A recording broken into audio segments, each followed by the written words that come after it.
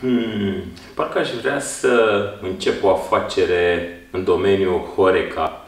Cred că o să rupă. Cred că o să meargă bine. Tu ce zici? Nu știu, cred că se apropie o criză. Nu crezi că ar trebui să fie un pic mai calculat? Adică, hmm, da, ai dreptate. Cred că ar trebui să iau în calcul și criza asta.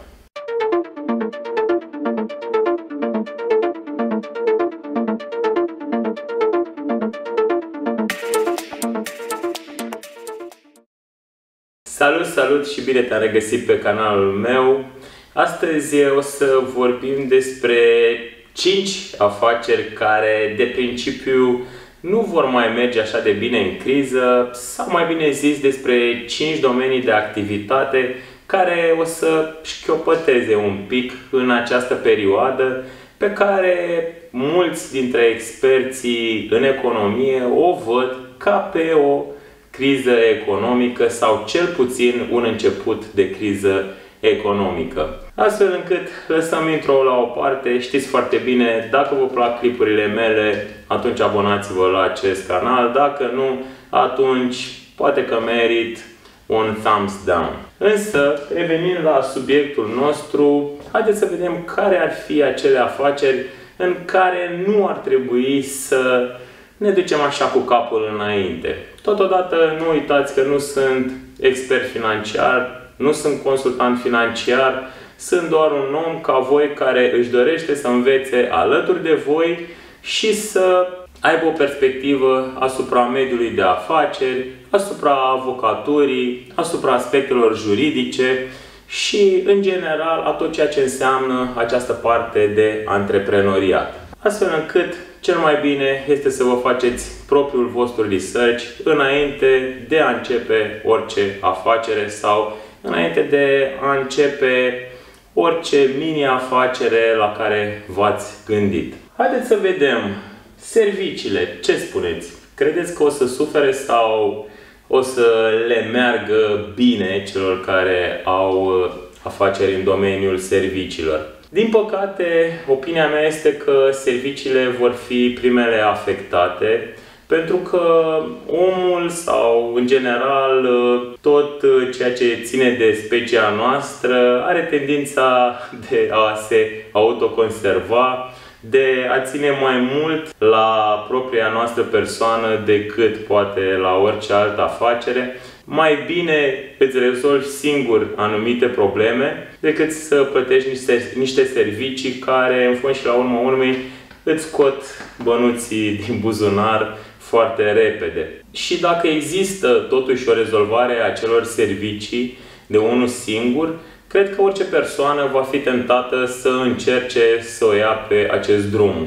Băi, ce am de rezolvat? Spre exemplu, o să mă iau pe mine drept exemplu, nu vreau să arunc așa cu piatra în alte servicii, dar o să încep cu serviciile juridice, spre exemplu. Dacă, spre exemplu, îți dorești o firmă sau îți dorești neapărat înființarea unei firme, că ai fi tentat să începi sau să încerci mai întâi de unul singur înființarea unei firme și dacă cumva te împotmolești, de ce nu să apelezi la serviciile juridice ale unui avocat. Da, bineînțeles că același lucru nu se va întâmpla în cazul în care ai un litigiu, în cazul în care ai un proces, însă când vine vorba de chestiuni un pic mai ușoare, nu spun că înființarea unei firme este uh, neapărat ușoară, însă dacă te documentezi, dacă faci research și încerci de mai multe ori, poate în cele din urmă îți vei înființa propria ta firmă singur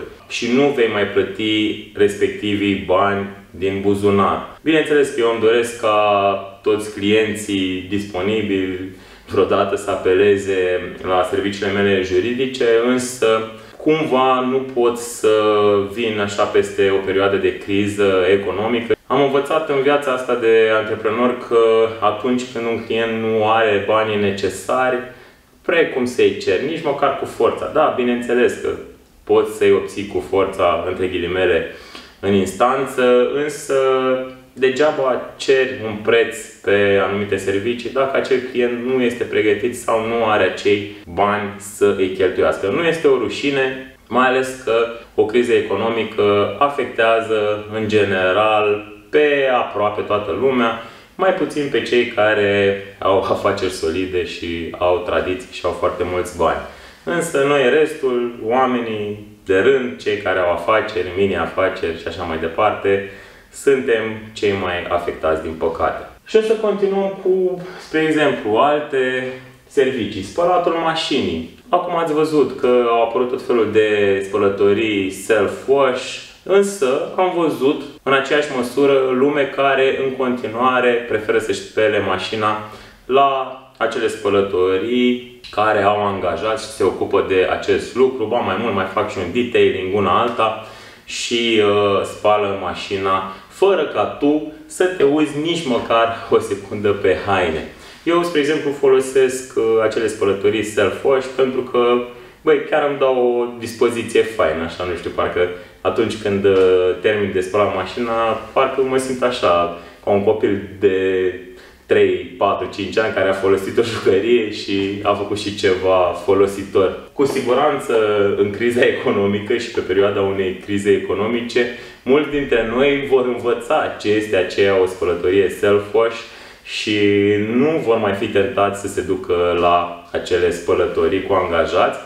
Ba mai mult, vor fi tentați să spele mașina chiar mai rar, spre deloc, uitând cumva de această necesitate. Și cum drumurile la noi nu sunt dintre cele mai curate, cred că vom avea de-a face cu mai multe mașini murdare. Totodată, mai există servicii de înmatriculare ale autovehiculului.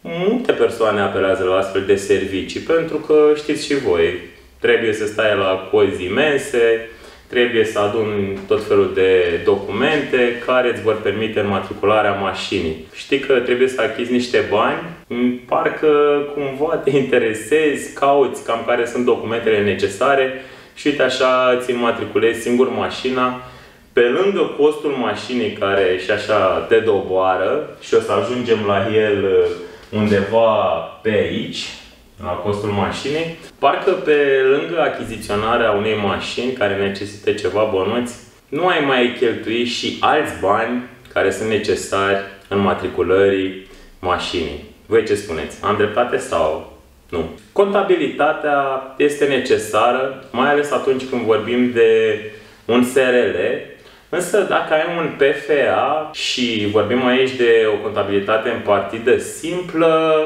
cred că dacă ai puțină pricepere și ai fost bun la algebră, cred că ai putea să-ți ții singur contabilitatea când vine vorba de un PFA. Și sunt ceva uh, forme de organizare cu această titulatură de PFA, Tocmai de aceea, cred că și serviciile contabile vor înregistra un declin mai ales că într-o perioadă de criză economică, multe afaceri uh, se cam sting. Da, multe afaceri ajung să intre în insolvență, iar mai apoi ajung la sfânta sau sfântul faliment, între ghilimele.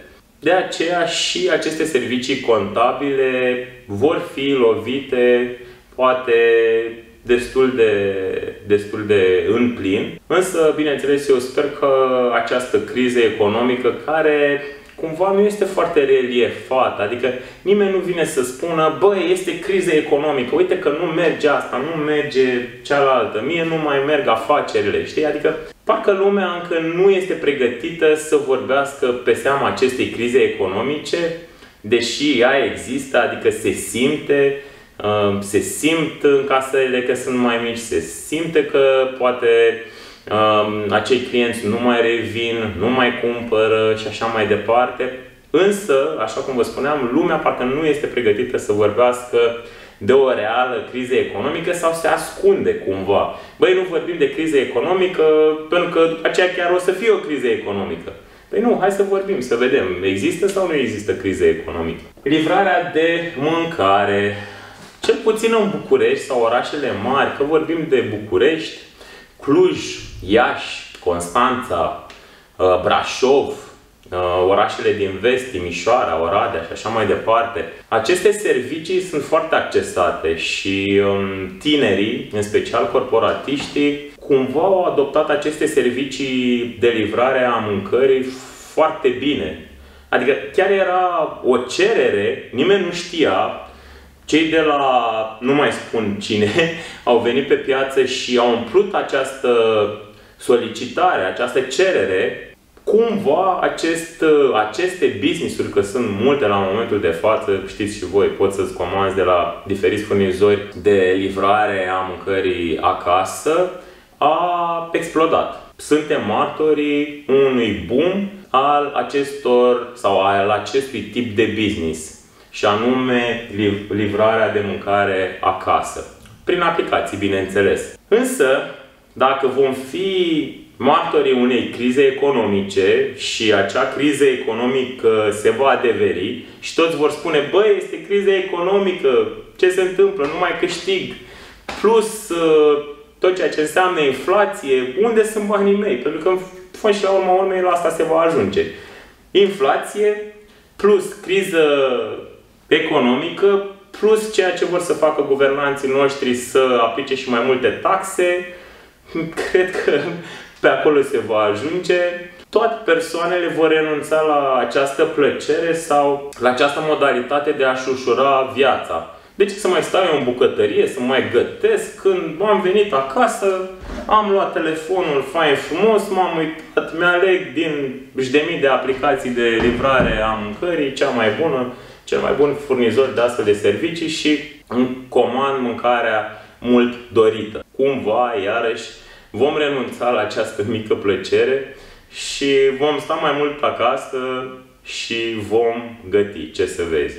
Nu vom renunța la mâncare, nu vom renunța la cei mai mari retaileri de mâncare, nu vi spun pentru că știți foarte bine. Ne vom duce în continuare să cumpărăm mâncare, însă o vom pregăti acasă. Cel puțin așa cred eu că se va întâmpla. Timpul uh, o va spune sau o va dovedi. Turismul.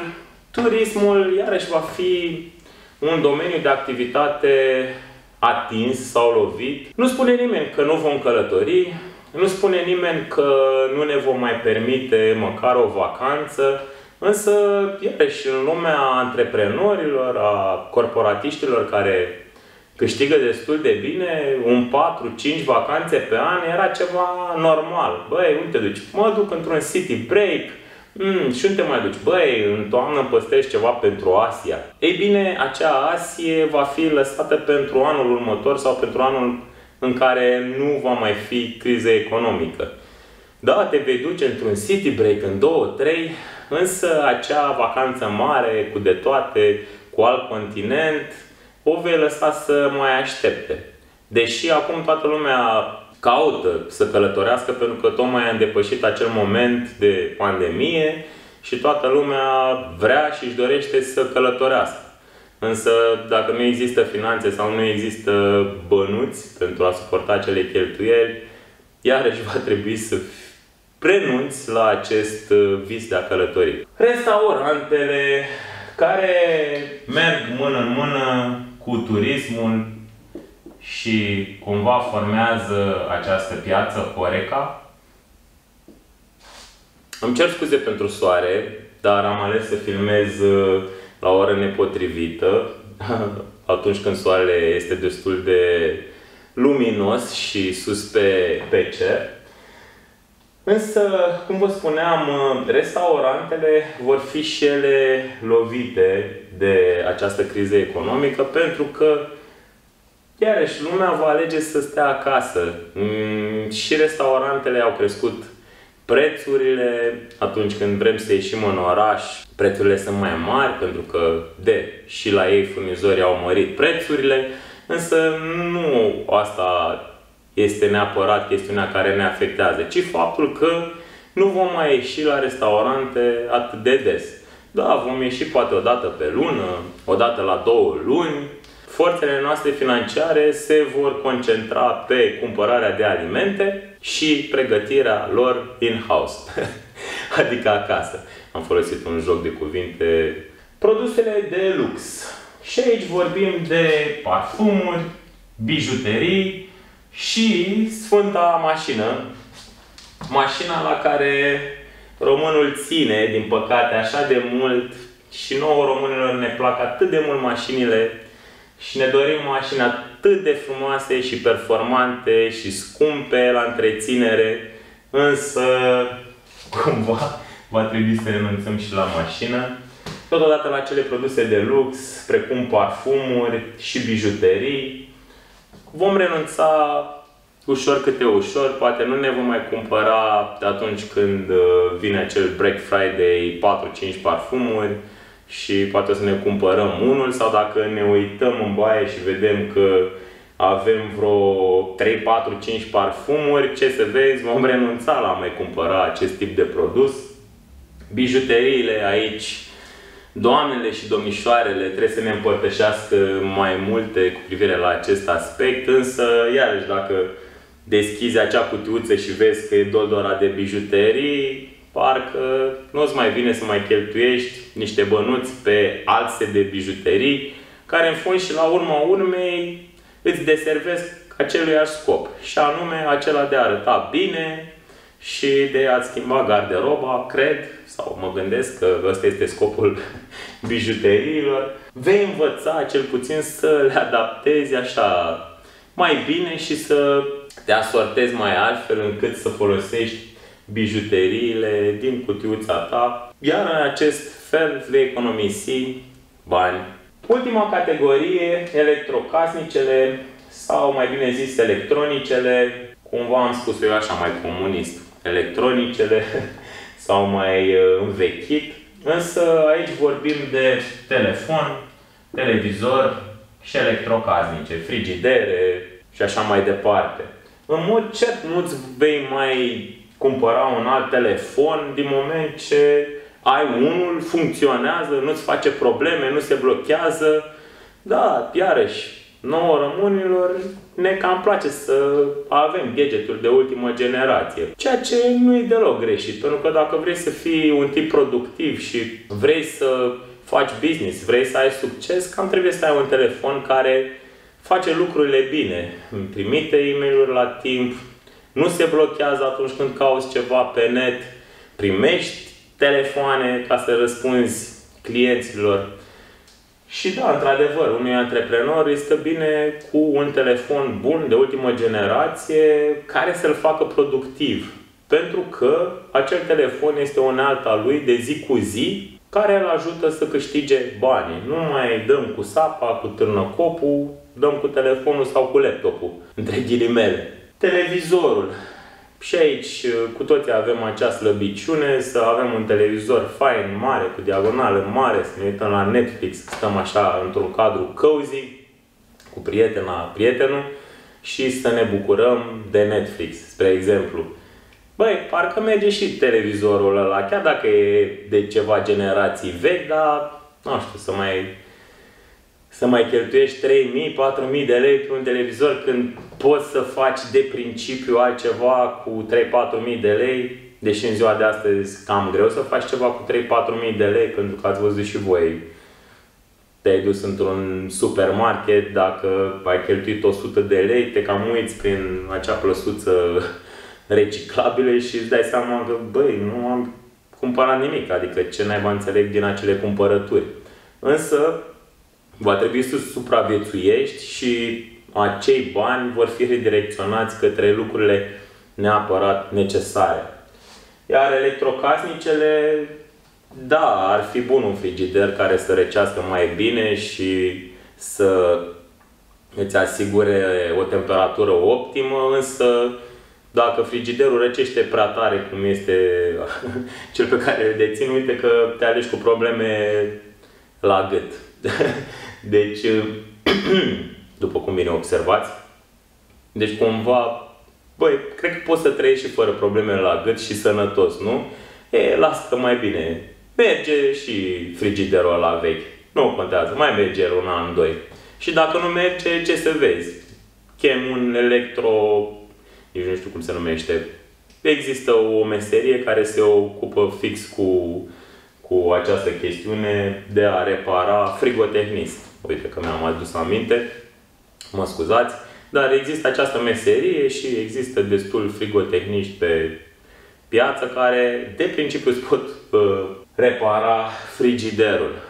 Dragii mei, cam acesta a fost uh, așa vlogul pe ziua de astăzi. A fost o înșiruire a unor domenii care sunt de părere că vor fi afectate câtuși de puțin de această perioadă care este ușor tulbure, însă nimeni nu are curajul necesar să vină în față și să spună Băi, oameni buni, este criză, nu vedeți că nu mai merge nimic? Sau că lucrurile au început să încetinească, să nu mai meargă? Cu toate acestea, nu voi fi eu acela care va da această veste, voi aștepta mari experți sau experții în economie să ofere aceste veste, să dea această veste, pentru că, în fond și definitiv, ei sunt pregătiți să facă acest lucru, au studiile necesare, au pregătirea necesară și cred că atunci ar trebui să-i credem și să ne reorganizăm un pic pentru a ne fi bine în fond și la urma urmei. Dragii mei, acesta a fost vlogul de astăzi. Eu vă mulțumesc pentru vizionare, vă mulțumesc încă o dată pentru comentarii, pentru like-uri, share-uri și așa mai departe. Și până data viitoare, nu uitați să respectați întotdeauna legea. Eu vă salut cu drag. Numai bine, pa, pa!